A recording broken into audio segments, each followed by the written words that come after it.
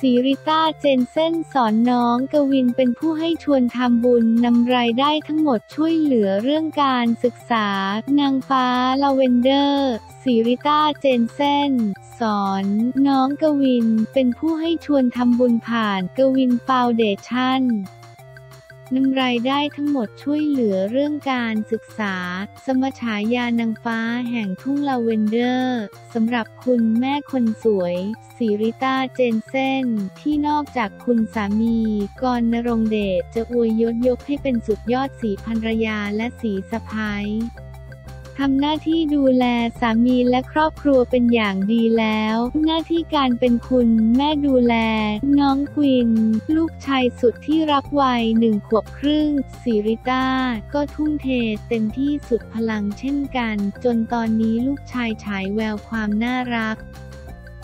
กลายเป็นซุปตาตัวน้อยตามรอยคุณแม่ไปเรียบร้อยแล้วโดย คุณนกร และสิริต้า ตั้งใจเลี้ยง น้องควินให้เป็นเด็กอยู่ง่ายกินง่าย พร้อมอยากปลูกฝังให้น้องควินได้รู้จักการแบ่งปันและการเป็นผู้ให้ ด้วยการนำเสื้อผ้าของใช้ของน้องกวินที่ไม่ได้ใช้แล้วมาแบ่งปันและส่งต่อความสุขผ่านทางไอจี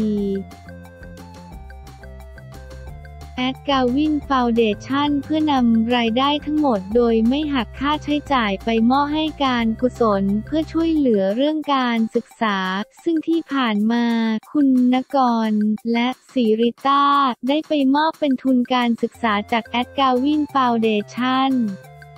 ให้กับนักเรียนที่เรียนดี แต่ขาดแคลนทุนทรัพย์ตามมูลนิธิต่างๆ และโรงเรียนที่ขาดแคลนทั้งในกรุงเทพมหานคร และต่างจังหวัดมาตั้งแต่เดือนตุลาคม 2564 และล่าสุดวันที่ 31 สิงหาคม 2565 คุณนกรและสิริต้า ก็ได้พา น้องกวินท์ไปร่วมเป็นผู้ให้ด้วยการไปมอบของเล่นและทุนการศึกษาที่ได้จากการร่วมส่งต่อและแบ่งปันผ่าน at Kawin Foundation ให้กับพี่ๆที่มูลนิธิสันติสุขท่ามกลางรอยยิ้มแห่งความสุขของผู้ให้และผู้รับ โดยคุณกรณ์และศรีริต้าได้โพสต์เผยถึงความรู้สึกและความตั้งใจว่าหนึ่งวันดีๆ การให้และการแบ่งปันคือสิ่งที่ผมอยากสอนกวินวันนี้เรามามอบของเล่นและทุนการศึกษาให้กับน้องๆ ขออนุโมทนาสาธุทุกคนที่ร่วมทำบุญกับเราผ่านทางแอดกาวินฟาวเดชั่นที่เรานำเสื้อผ้าของใช้มาส่งมอบความสุขโดยรายได้ทั้งหมดไม่หักค่าใช้จ่ายใด ๆ ทั้งสิ้นและทางครอบครัวเราร่วมสบทบททุนเพิ่มเป็นทุนการศึกษาให้กับน้องๆ ขอขอบคุณผู้ใหญ่ใจดีที่ส่งเสื้อผ้ามาให้กวินรีวิวด้วยนะครับ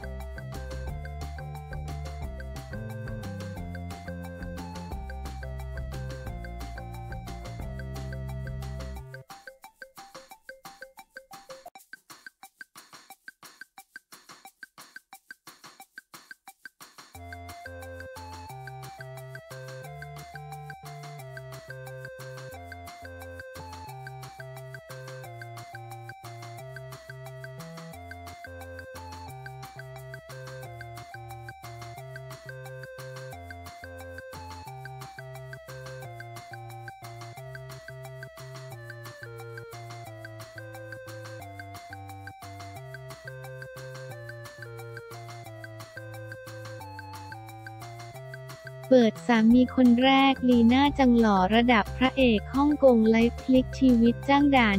1.5 แสนต่อครั้ง เปิดรายได้ต่อเดือนกี่ล้านคนดูพันล้านวิวฮอตมากโลก TikTok เปิดภาพสามีคนแรก ลีน่าจังหล่อระดับพระเอกฮ่องกง ไลฟ์เปลี่ยนชีวิตคนจ้างด่าครั้งละ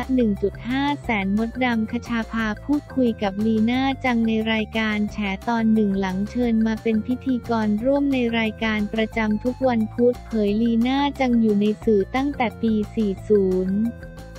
ยออกมาประท้วงเคลื่อนไหวทางการเมือง เห็นหน้าผ่านสื่อโทรทัศน์จนมายุคนี้สื่อออนไลน์เจ้าตัวบอกว่าคนดูในติ๊กต็อกเป็นพันล้านคนเป็นที่ต่างๆ ที่เอาคลิปฉันไปรวมคนดูพันล้านวิว จริงๆ ฉลาดกว่าฉันอีกแต่สังคมบอกชอบคนบ้าบ้าบอบอคุณก็บ้าบอบอได้ ลีน่าจังยอมรับว่าใช่ฉันเป็นทนายความพูดเรื่องข้อกฎหมาย 8 ปีคนดู 393 คนฉันทำบ้าบ้าบอบอคนดูเป็น 10 ล้านเกาะกระแสใครมาก็เอาเลยก๊อปปี้ก็ได้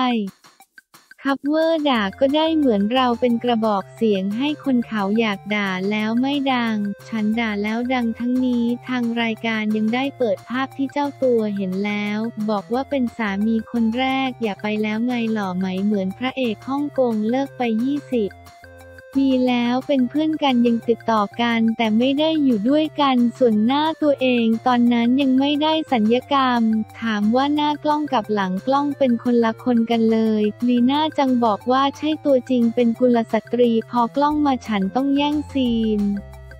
ฉันต้อง action มันประสบความสำเร็จ ไลฟ์เปลี่ยนชีวิตไลฟ์คือชีวิตแล้วตอนนี้ ลีน่าจังบอกว่าทุกวันนี้เดือนหนึ่งฉันได้เงินตั้งหลายล้าน คนมาจ้างฉันรีวิวจ้างฉันไปด่าแสนห้าเหนื่อยนะไปด่าคนอื่นคนนั้นก็มาแม่ขาด่าหนูหน่อยหนูอยากรวยเขาก็เอาคลิปไปลงติ๊กต็อก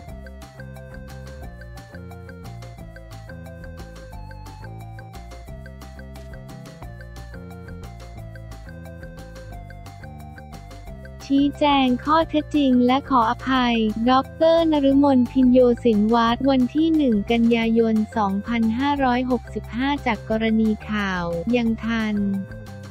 แห่ส่องทะเบียนรถบิ๊กป้อมลงพื้นที่ 8 ริ้วไหว้หลวงพ่อโสธรพปชรอแห่รับที่นำเสนอในเว็บข่าวสดออนไลน์วันที่ 1 กันยายน 2565 โดยเนื้อข่าวระบุว่าเมื่อเวลา 8 นาฬิกาวันที่ 1 กันยายน 65 พลเอกประวิตรวงสุวรรณในฐานะรักษาราชการแทนนายกรัฐมนตรี และหัวหน้าพักพลังประชารัฐพปชร เดินทางด้วยรถเบนซ์บ้าน ซึ่งเป็นรถตู้ขนาดใหญ่ทะเบียน 1 นหนูกไก่ 6218 จากมูลนิธิอนุรักษ์ป่ารอยต่อ 5 จังหวัด